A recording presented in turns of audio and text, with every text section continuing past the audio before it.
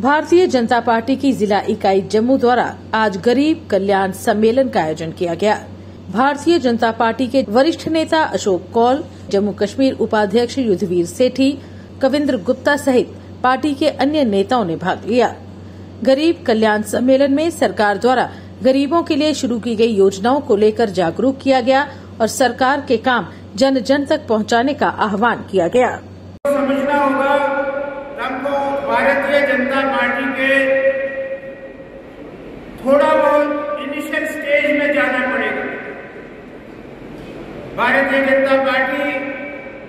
का पूर्व भारतीय जनसंघ उन्नीस सौ इक्यावन के मई में इसकी शुरुआत शुरू हुई थी और उन्नीस सौ इक्यावन में ही अक्टूबर में भारतीय जनसंघ के नाम से एक पार्टी बनी थी, जिसका झंडा एक आयातकार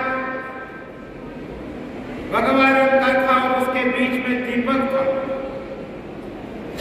भारतीय जनता पार्टी ने उन्नीस सौ सत्तावन में चुनाव लड़ा और उनको 3.6 परसेंट ऑफ़ वोट मिला और भारतीय जनता पार्टी एक मान्यता प्राप्त पार्टी हो गई। तो भारतीय जनता पार्टी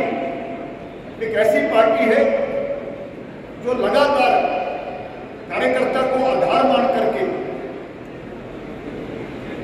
सारी कार्य पद्धति जो उसकी रहती है कार्यकर्ता के आसपास रहती है कार्यकर्ता है तो भारतीय जनता पार्टी है कार्यकर्ता के सम्मान के कारण ही आज विश्व की सबसे बड़ी पार्टी होने का गौरव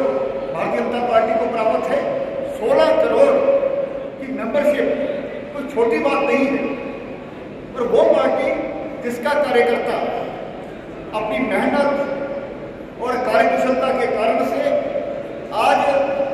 पूरे भारत में भारतीय जनता पार्टी का प्रसार कर चुका है लेकिन हमारी बढ़ती हुई ताकत को देख करके, जिस प्रकार से सभी पार्टियाँ, जो हमारी विपक्षी पार्टियाँ, जिनको कहा जाता है, उनके लिए हम एक चैलेंज बन गए भारतीय जनता पार्टी द्वारा आठ साल सेवा सुशासन और गरीब कल्याण का हम पंद्रह का पखवाड़ा पखवाड़ा मनाया जा रहा है। उसी की कड़ी में आज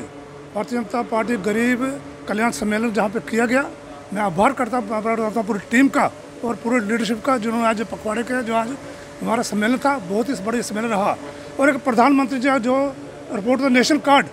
जो हमने आउटरीच का जाके घर घर बांटे हैं, उसी का परिणाम क्या है लोगों में, बीच में प्रधानमंत्री के लिए बहुत लोग प्रधानमंत्री को आशीर्वाद दे रहे हैं। तो भारतीय जनता पार्टी जम्मू जिला तरफ़ से प्रधानमंत्री जी का पूरी टीम का आभार प्रकट करता हूँ, खासकर अपने कार्यकर्ताओं का, जिन्होंने बढ़कर जो पंद्रह दिन का पखवाड़ा मनाया है। मैं जिलाध्यक्ष होना चाहते हैं इनका आभार करता हूँ जय जय Bharat For more updates, do subscribe our YouTube channel and don't forget to hit the bell notification icon. And if you are watching this video on Facebook, do follow our Facebook page.